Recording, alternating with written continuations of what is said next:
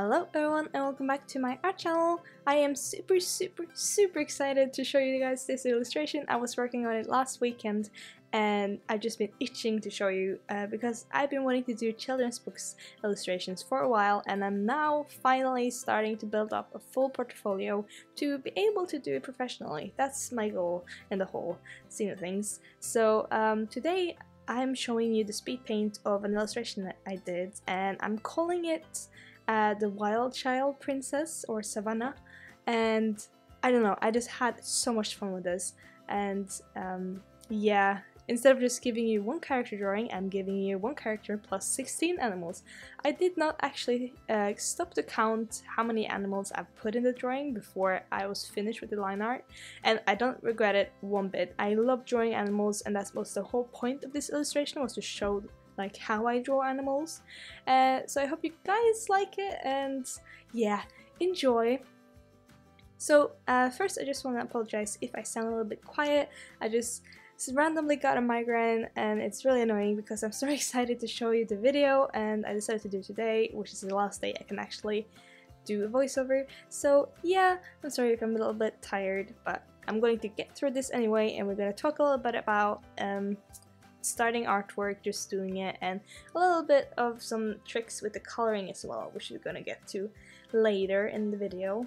Um, so to start off, I just want to say that there is some things that I cut out uh, from the footage because it's about 6 hours or 7 or 8, I don't remember, um, live footage, uh, so I had to cut out some stuff to keep it not too sped up and still within the 10 minute mark. Uh, I don't like posting up too long videos because I know for myself at least my attention span is not that long so I usually skip to the end unless the person has something interesting to send say.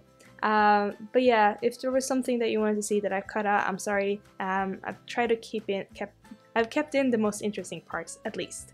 So let's get into the topics for this video. Um, there was two things that crossed my mind when I was doing this illustration that I think is an important thing to talk about and that is one, when you're stalling and you have a lot of excuses for not doing a drawing and two, when drawings are actually turning out exactly how you imagined it in your heads. Um, so the first thing is, of course, the stalling and excuses for not doing an illustration. I've had it tons of times, like even the big projects that I had like planned before, I've been afraid of doing it because I'm afraid that, um, well, it's not going to turn out the way I wanted it to. I want to do it on paper. I don't know. I have a lot of excuses, and I'm sure you guys have too when you have like illustrations you want to do.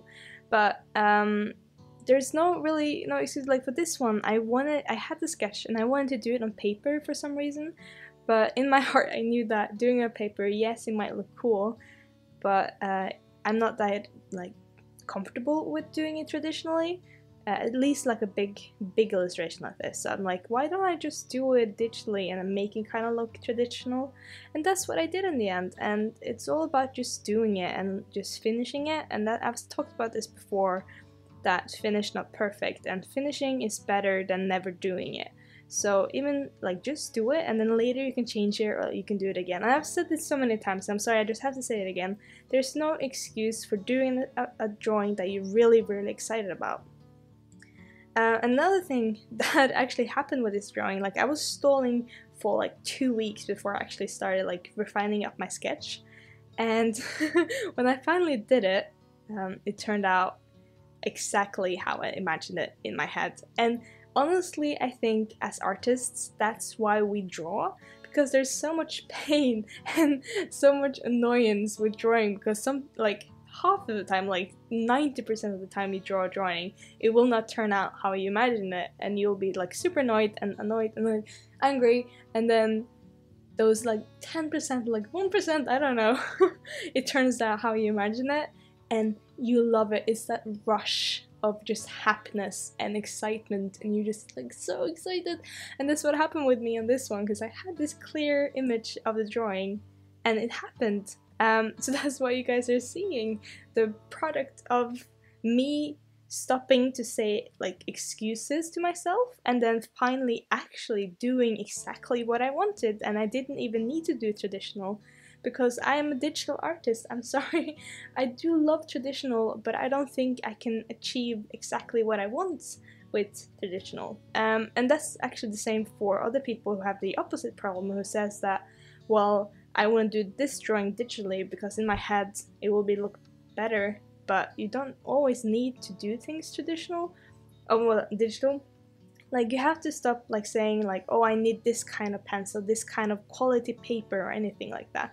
Just try it. Like you can do it one time at least with the cheap stuff you have, and then later if it didn't turn out the way you wanted, then then you can buy the more expensive stuff. You, you will never know if it actually will work before you try it. So please, if you have like an idea in your head that you really want to do, I'm saying to you right now, sit down, pause my video, you don't have to finish it, and just draw it, just try it. Like on paper, on digital, like you don't need Photoshop, you can do any like cheap program as well, you don't need a like Cintiq either, you can just do like a normal tablet and I don't know. I feel like there's so many drawings that get lost because we don't dare doing it because we're afraid that we will fail. But the whole thing is that the only way we can get to that point where we actually love what we're doing like I did with this one is to just dare to fail. So dare to fail guys. Just if you have a good idea, do it now. Like, if you don't do it, someone else is gonna do it. so please do it, and then if you do it, show me. I want to see. If you guys want ever want to show me any drawings, please just leave that in the comment section, and I will love to check it out. Whew, that was a lot of talking. I'm sorry. um, so uh, I just wanted to talk a little bit about some technical stuff that's going on in the picture right now, and that is actually how I'm separating the silhouettes by value and color. So I'm you can see a lot of the times I'm kind of clicking off and off a, a black and white filter to just see how it looks um, in values and not in colors.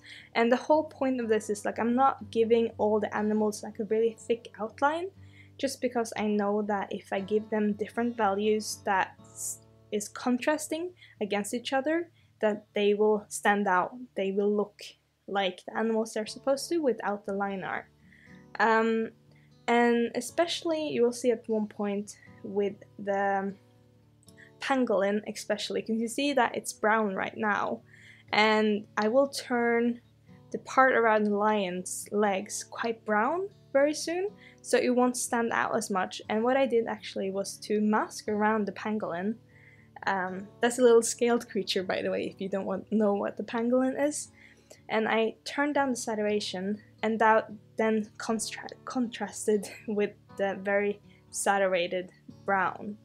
Um, so when you are doing a piece, try to avoid putting a lot of white lines around your work. To me, that often, very often um, just gets very, very distracting. Um, so instead of trying to separate your character from the background, please try to tweak the values or that's like the gray or the color or anything else than white. If it's like really really bad, like you can't really separate it, then you can add some white but be very like picky about how much you put in because if you put in a lot, it will get dizzying. Like all I'm sorry, I'm talking too much.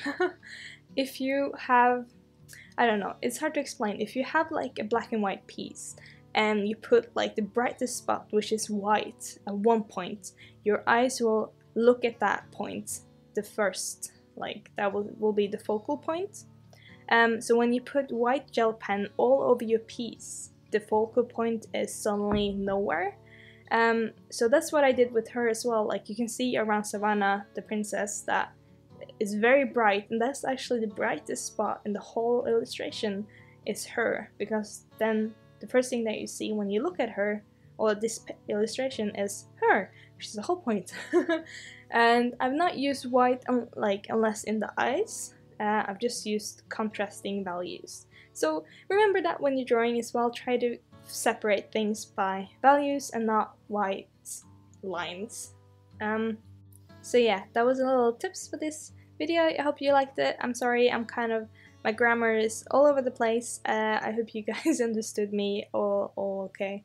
Um, other than that, uh, if you want to know the inspiration for this piece, it's a lot of like um, as a young as a kid I really liked um, like the wild child stories like Tarzan and Mowgli. So I wanted to do one with the princess and then I decided to make Savannah or yeah the wild child princess because I really wanted to be a wild child when I was younger run around in the forest and have all these animal friends and I just thought it would be really cool uh, to have kind of a wild princess that talks to animals and not just pretty ones and also, if you're wondering why she's not wearing anything on her upper body, it's because I don't believe that a kid would choose to wear anything on the upper body, uh, just because I wouldn't. Why would you? Um, so I thought I'd just leave it like that, because she would be as free as possible and just have something around her legs. Um, and I hope you guys like the little design that I did for her. Uh, but yeah guys, that is it for this uh, week. I hope you guys really enjoyed this illustration because I really really loved it.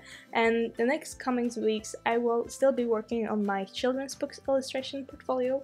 So there will be a lot more of these big big illustrations and I hope you guys will enjoy that. If you enjoyed this illustration as much as I did, please leave it a like. Um, I really appreciate that. If you want to ask me anything, please leave a comment. And if you want to see more of these kinds of videos, you can subscribe. I do videos every Friday, and sometimes I do more as well, um, depending on how I feel, but at least once a week. Um, but yeah, guys, I hope you guys have a wonderful weekend and do a lot of fun stuff, and finally do that project that you really wanted to do, but haven't done yet. Uh, so start on that, and I will see you guys next week. Bye bye.